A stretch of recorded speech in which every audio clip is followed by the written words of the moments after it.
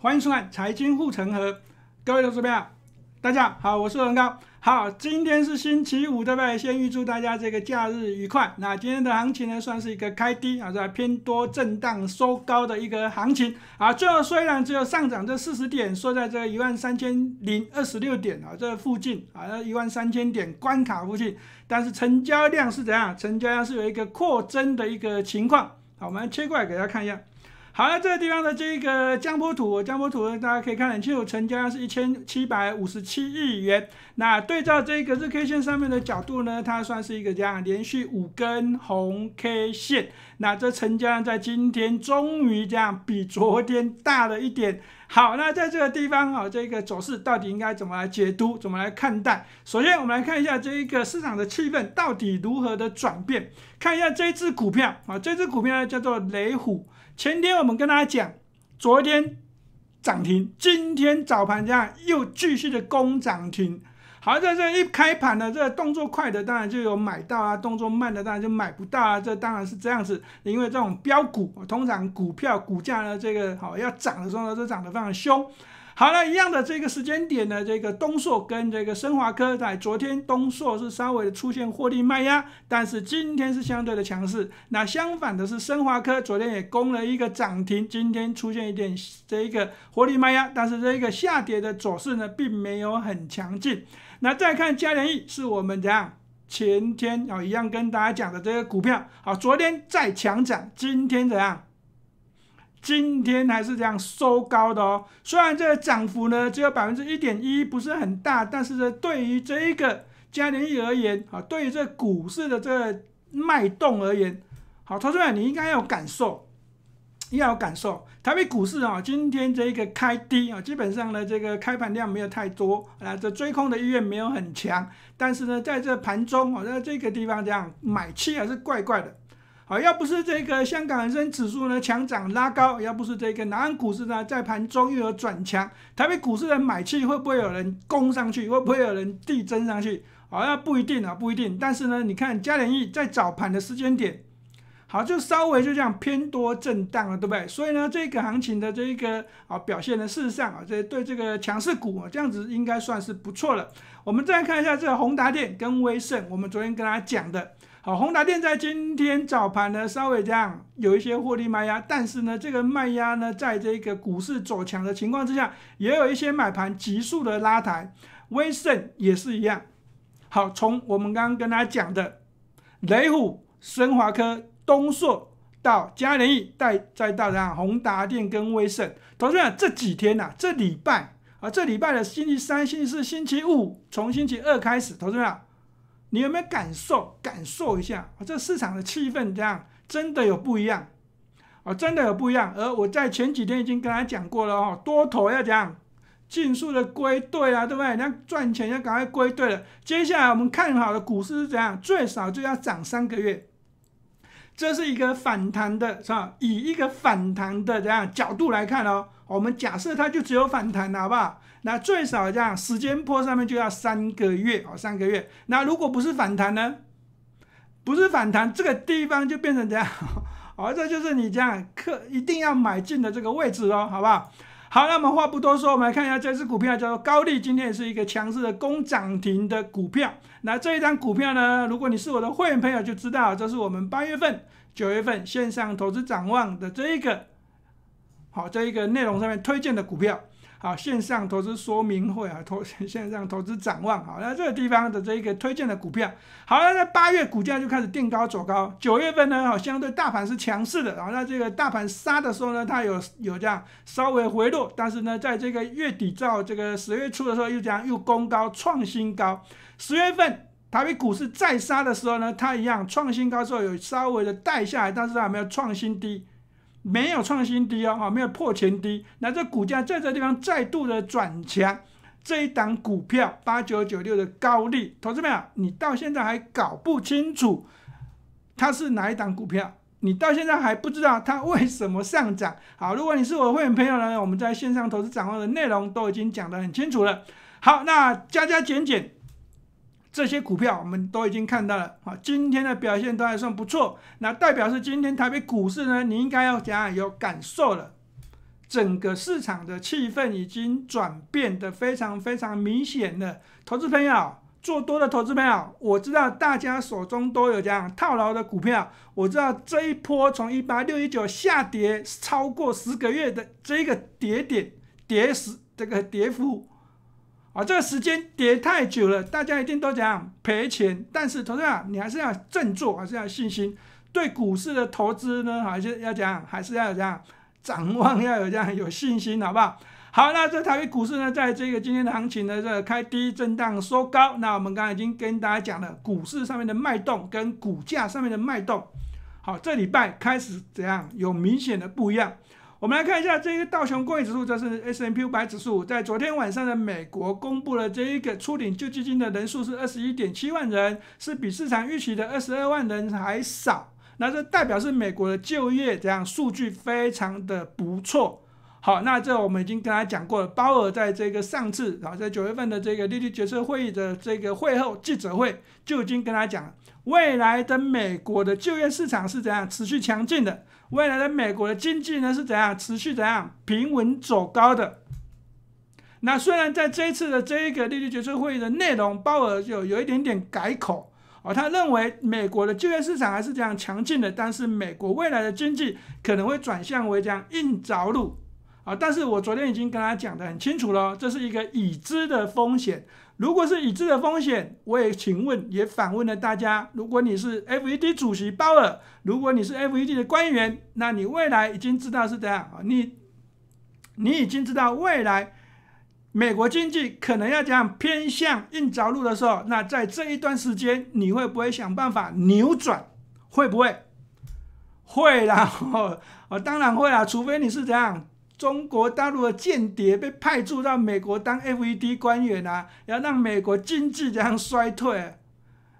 好了，要不然呢？你当然就要讲，就要想办法扭转呐，对不对？好，那这 好，我们就讲太远了哈，开玩笑的哈。那这 FED 的官员都是美国人啊，不会有这个中国大陆人。好，所以呢，这个地方我跟他讲，这是叫做已知的风险呢，未来不一定会是风险啊，请你一定要记得。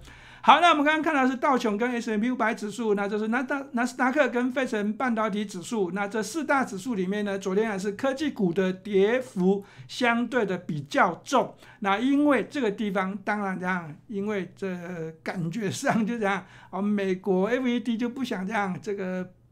不升息都不行了，这升息这升升升升不停，对科技股当然是敏感度比较高，所以这四大指数里面的科技股，每一次哦听到升息这两个字啊，跌点跌幅都会相对的比道琼工业指数还大。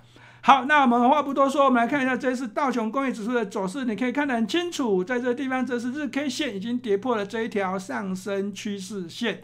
那如果以这一个费城半导体指数呢，一样的，它是跌破了这条上升趋势线，那你可以看得很清楚，它是提早跌破，而且这一条上升趋势线的斜率比较缓，所以呢，相对的道琼跟费城半导体指数，当然是道琼比较强，好，道琼比较强。而在这过去的一段时间，我们跟大家讲过，这个地方这道琼工业指数呢，费城半导体指数呢，纳斯达克指数呢，S M P 五百指数呢，都有这样。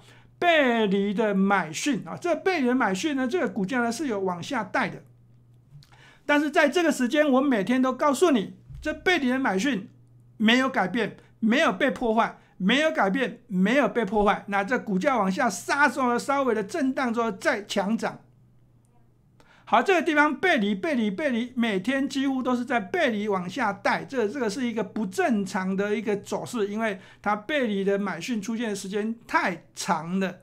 但是因也因为这样子，所以造成后面这一段强涨，因为这个时间点清洗的筹码非常的干净，这是道琼工业指数。投资者，你还记不记得这一段时间大家都很悲观？大家都很这样，很想要离开股市的时候，我跟大家讲，美国道琼工业指数、美国四大指数这个地方就是这样出现一个背离买讯，而且我直接告诉大家，这是 MACD 的这个买讯。好，那这现阶段的这美国的表现呢，我们也不用再多说了。那在对于这未接的角度来看呢，对照台北股市，好，台北股市已经落后非常非常的多。那如果以非成半导体指数呢，相对道琼工业指数是弱势的，但是以非成半导体指数目前的位阶来相对台北股市的大盘的位阶，台北股市还是这样落后的。所以讲简单一点，好，那台北股市最近呢真的是这样太弱了，太弱了。好，那当然了，我们也已经跟大家强调，就是这个地缘政治的关系。那这地缘政治，地缘政治到底有多厉害？投资没有？很血淋淋的，不是血淋淋的教训啊，血淋淋的例子啊，放在我们面前。南北韩最近的北韩不停的发射飞弹跟导弹，好，那有人说他是在在乱乱乱搞。那不管怎么样。你可以看得很清楚，昨天我们跟大家讲的，南韩股市呢，在过去的这几个交易日是怎样收红 K 的，连续三天都是红 K 线的。发射飞弹之前是红 K 线，发射飞弹之后还是红 K 线，一直到今天，你可以看得很清楚，南韩股市已经连四红。这是南韩股市，这是北韩确定有发射飞弹、确定有发射导弹的一个对立国家。那我们台海之间呢？除了佩洛西来的那一个军演之外，啊，这个飞弹还是这样啊，这个这个感觉上没有感觉的这个飞弹飞过台湾上空之外，其他的时间都是用嘴巴讲，都是用嘴巴讲。我们台湾的媒体不停的报道，台海会有战争，台海会有危机。啊，我说过了，这是这个讲恶劣一点，这是一个政治的阴谋。好了，这政治阴谋我们也不多说，但是呢，相对台北股市呢，在这个南韩股市的走势根本就不会受到北韩射飞弹、射怎样导弹的影响。那我们台北股市为什么要这么的弱？投资们，你要好好的思考一下，千千万万这样，哦，不要再负面，不要再悲观了，好不好？来看一下，这是南岸股市今天的这这江波图，可以看得很清楚，在早盘也是出现一些震荡，那向下，那这个时间点是因为香港恒生指数开盘之后呢，它就一路的往上走高，那这南岸股市呢受到带动，那台北股市在这个时间点也是一样受到一个明显的带动。好，那我们来看一下这个时间点是九点半之后的。往上走高，那这一个香港恒生指数就是我们在九点半的时候呢开盘，一开盘呢就开始一路的往上冲高，一涨就这样，一涨就是六七百点，一涨这个地方一涨就是六七百点。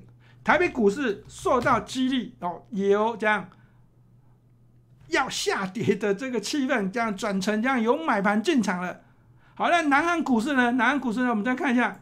也是一样，九点半哦，你可以看到这边九点，这九点半，九点半，香港恒生指数一开盘往上带之后呢，它就由黑翻红了。台北股市还比南安股市弱。好，那这一段是谁买的？好，我会告诉大家，这一段是外资买的啊，这绝对不会是政府啊，这绝对不会是政府，因为这是从香港到南韩再到台北股市，这是外资啊，这外资的这个杰作。好，所以呢，对这个股市上面的脉动，大家都一直在讨论外资卖呀卖呀，不停的卖台湾的股票啊，好，这个汇出的股票已经超过，好，汇出的这个金额已经超过了一兆啊。但是，投资啊，你可以看得很清楚，我再讲一次哦，香港恒生指数，看一下，看一下。九点半开盘之后呢，就开始这样往上走高了，好，就开始往上走高了。南岸股市也是一样哦，在九点半左右的时间点就跟着香港恒生指数走高了。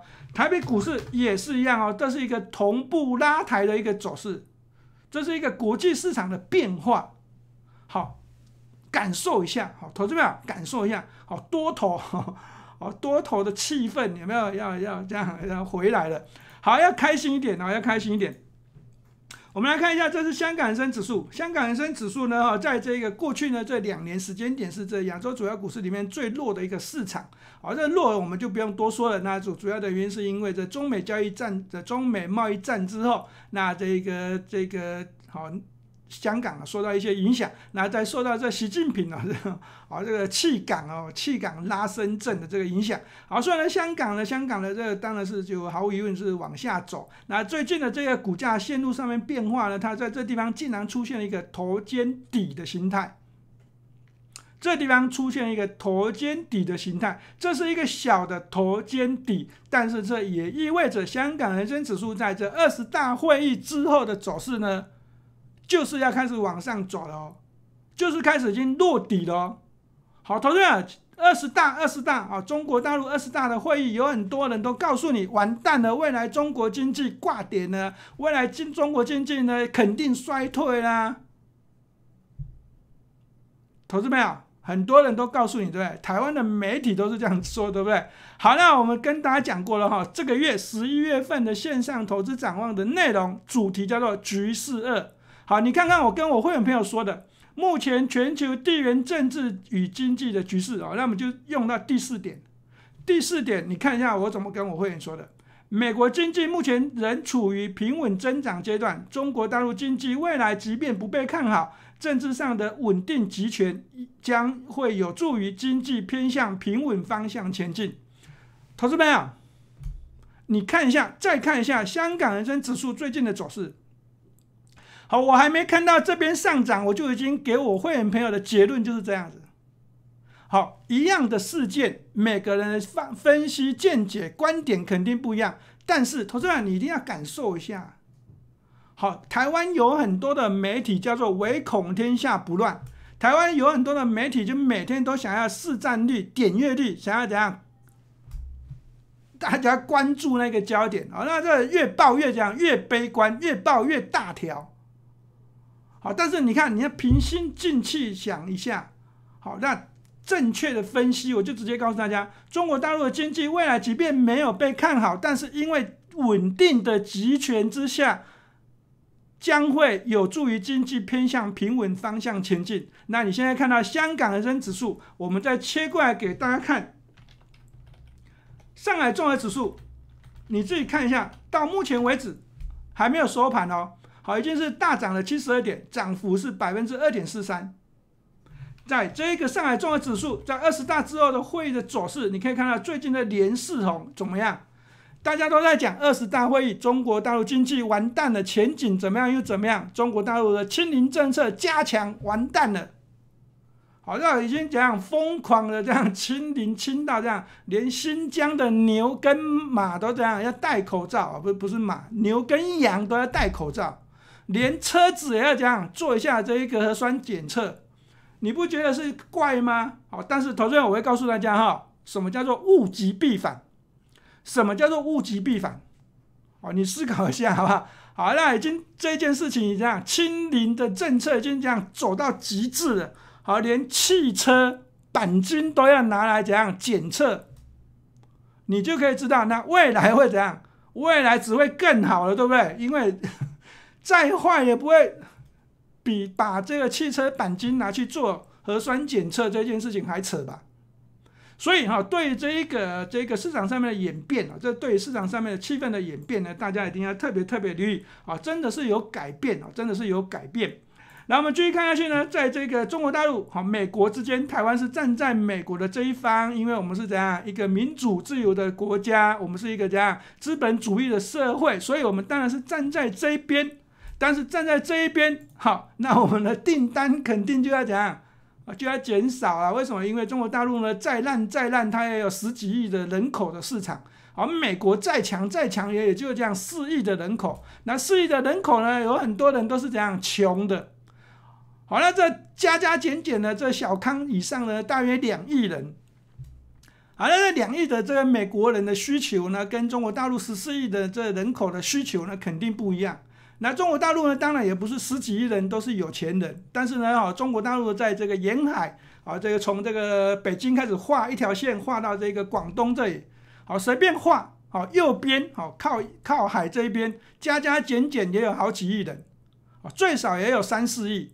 所以呢，这个有钱人的这比较，这市场呢还是有差。那台湾政府呢选边站，选择对美国这一边站在美国这一边，好，那无可厚非。但是啊，这个地方当然这样，美国要让利呀，要给一些利益呀。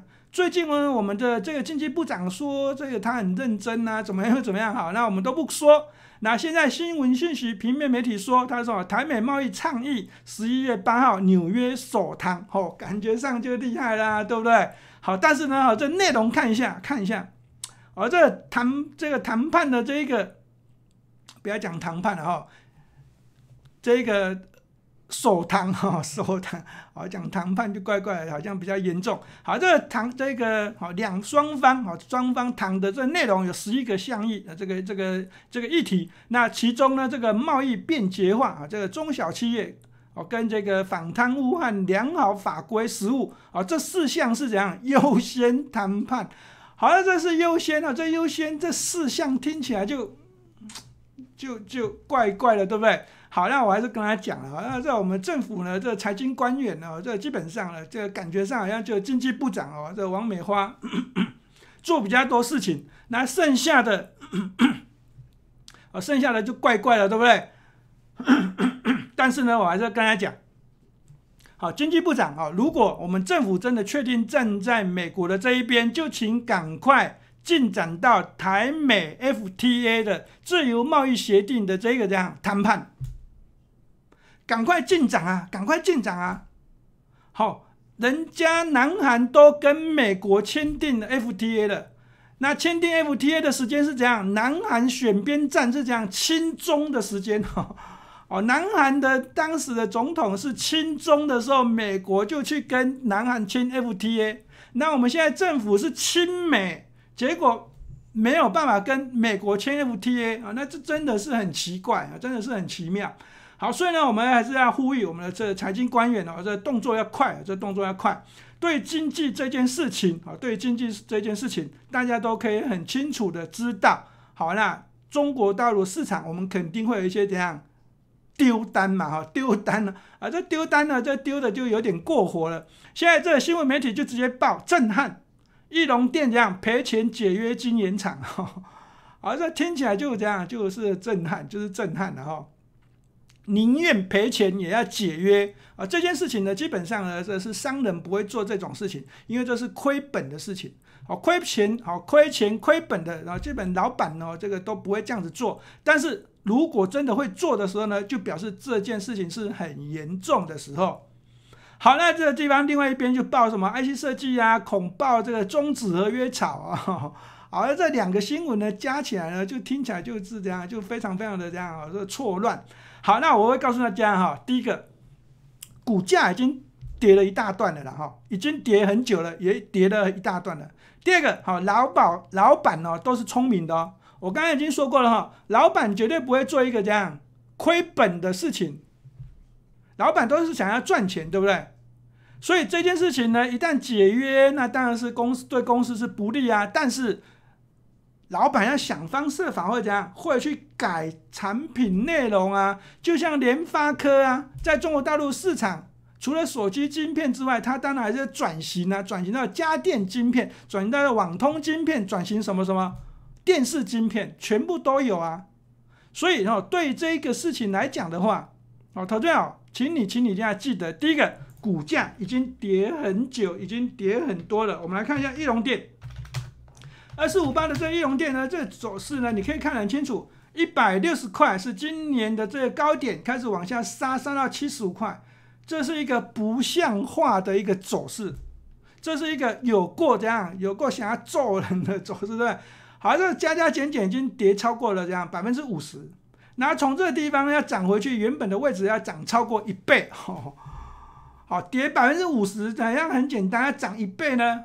好困难哦，涨一倍就比较困难了。所以呢，对这个市场呢，这个基本上我们在跟他讲，这是一件事情，怎样已经跌，已经先跌了，好，现在才告诉你。但是，好，投资们，另外一个角度来讲，当老板做这件事情之后，老板肯定还是会有怎样做另外一件有利的事嘛？好像有人说，上帝说啊，这光的这一扇窗，啊，还会开另外一扇窗。好，所以呢，在这个形式作为上面呢，这是一个一体两面啊，一体两面啊，希望这哦，投资朋友不要过度的悲这个悲观的解读。好，我们继续看下去，这只股票叫台华投控啊，这只股票呢，在今天是强势攻涨停的，这是一个低档期转强的一个走势，非常非常厉害的航运股。好，台华投控在今天强势攻了涨停，它前三季赚了这十七点一五元，赚了很多。那净值呢，六十八点六元，以今天股价的收盘价涨停六十六点七元来讲，还是怎样？比较低哦，好，所以股价净值比算低的，那这样子的股票，这样的强势的股票，你会不会买？你想不想买？好，你要说老师，我手中已经有长隆海运了，跌到快哭了。我手中已经有万海海运，已经跌到要怎样？已经要跟家里吵架了。我手中已经有阳明海运，已经爆一堆了。哦，那还要买这个台华投控吗？同学们，那基本上呢，就你自己看一下了，好不好？我只会告诉大家，啊，这个地方是一个低档区开始转强的一个股票。那对这个高端疫苗，这个地方也是一个低档区开始转强的一个股票。那今天政府呢再度怎样？哦，给它 EUA 通过，对不对啊？那这只股票呢，这是一个啊强势的股票。好，那这只股票叫长源科，好，那这是一个磷酸锂铁电池的一间公司。那这股价呢，就相对的台华投控，相对的这一个啊，这一个 高端疫苗强势。好，那这三档股票，投资朋友，请问你要买要买谁？买低档转强的台华投控，买高端疫苗，还是买这一个强势的长源科？好，长源科这一档股票呢，这间公司呢，透过了这个呃美国合作的厂商呢，打入了这个啊台积电的一个 UPS 的这个供应链。好，那这讲简单一点呢，这个它是一个生产线上面的一个供应链链这个合作厂商，这是台积电的合作厂商之一。但是以这个自发的这个这个产品来看啊，大部分都被归类为所谓的这个电动车电池这一块。好，那这个地方的长源科的股价啊，这基本上呢，我还是告诉大家，如果你喜欢的话，好要稍微留意一下它过去的成交量比较少，好像会有一些流动性的风险，好，所以呢，哈，在操作交易上面呢，你自己要稍微的留意。好，在过去呢，曾经会这个量缩，缩到没有人要买了哈，这个你可以看很清楚，这个地方是这这个啊成交量啊，这张数非常的少哦。好，这边都八十几张啊，六十张啊，四十四张啊，六十三啊，三十三啊，三十一，啊，这个地方都是这样，都是这个一百张以下，所以呢，它的成交量呢，有时候会缩的非常的小，所以你在交易上面，哦，要留意这个流动性风险，啊，那不用买太多。好，那所以呢，在这个交易上面呢，哦，这这三档股票再讲是哦，台湾投控，哦，你手中已经有航运股对不对？要不要买？啊，自己留意一下，自己看一下。好，高端疫苗哦，这是也是低档区开始这样转强的哦。这最近的这个新闻哈，哦，这政治新闻在不断的攻击，对不对啊？那最后政府还是再度给他 EUA，好，这个股票你要不要买？好，另外一只股票哦，这台积电哦，这个相关的产业的这个供应链之一，好，投资者长源科。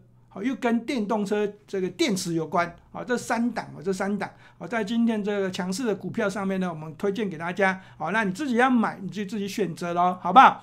好，那我们继续看下这只股票叫做茂联 KY，啊，一样是电动车供应链的这个股票，跟 Tesla 有极这个极具相关的一档股票。那这间公司呢，在十一月十号呢，要举行一个线上的这一个说明会，那它对这财务报表会多说说一些说明。那这股价呢，在这个股价线路上面，最近的两个月呢，也是跟着大盘是这样。持续的往下跌，对不对？那杀杀杀杀杀，三百四十五呢，是一口气呢杀到两百这个多块啊。那这个时间点呢，这当然是这样啊。这台湾台北股市呢不正常的走势啊。那现在这个地方要开始走强了。请问你手中如果有茂联 KY，你舍不得卖还是舍得卖？你想不想要换股操作？好，同学们，如果要换股的话呢，要换怎样的股票？如果你有兴趣哦，就来问了哈。我们来艾特在我的左下方，Q R code 在我的左下方哦。好，对于你手中有茂林 K Y 的投资朋友，我再讲一次哈，这一档股票跟 Tesla 极具相关，它是电动车概念股。那这股价呢下杀杀到这地方，如果你想要换股投资电动车相关的股票，请问你知道要换谁吗？好，你想知道的，好就来询问，好吧，就来询问。另外一个，这地方好，这地方可不可以怎样加码买进？可不可以？可不可以？好，一样的哈，想要知道就来询问了啊。手就手下方就有 Q R code，你随时都可以扫描了，好不好？好，那这是这个茂联 K Y，我们就讲到讲到这地方。那这是台北股市大盘，好，这周 K 线，好，这周 K 线，今天是怎样？上涨对不对？造成了今天台北股市是收了一个这样红 K 线，周 K 线也是一个红 K 线，成交量在日 K 线上面是比昨天稍微增加了一点，但是以周 K 线上面角度是怎样？减少、减少、减少，没有连续两周减少，这是一个量缩缩红 K 线的一个走势。那这个地方我们说过，这是一条下降压力线。在上个礼拜呢，我们原本预期它就有机会会突破，但是因为行情是下跌的，那在这礼拜就开始突破。那在这个礼拜还好，有没有？后面这几天都走强。那这这个礼拜最后是收一个红 K 线。所以，好，多方动能在周 K 线上面是怎样开始转强的？我昨天之前就跟大家讲了。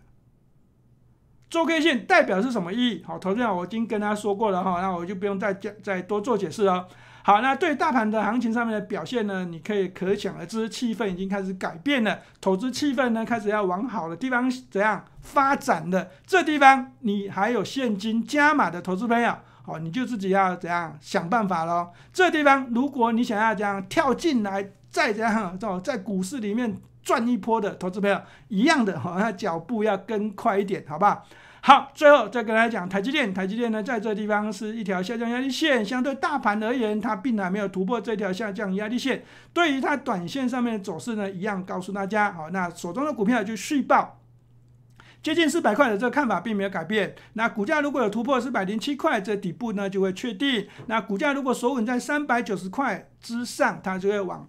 多方前进，好，这个看法都没有改变，好不好？好，今天是星期五，好，大家开心一下。那我们祝大家假日愉快，财经护城河。好，我们今天的节目就讲到这地方。我是恒高，希望投资朋友认同我的理念，请你帮我按赞，请你帮我订阅，请你帮我分享，好不好？我们下周一再见，拜拜。